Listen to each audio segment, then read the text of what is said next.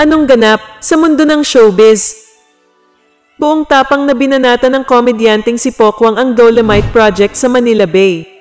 Sa kanyang Twitter, nirepost ng komedyante ang post ng GMA News na kung saan sinasabi ng mga scientist na ang nasabing project ay para lang nagtatapon ng pera sa dagat. Sabi ni Pokwang, kahit hindi ka scientist, kung bukas ang mata at isip mo, kitang-kita ang pag-aaksaya ng pera sa Dolomite. Ano sa palagay nyo?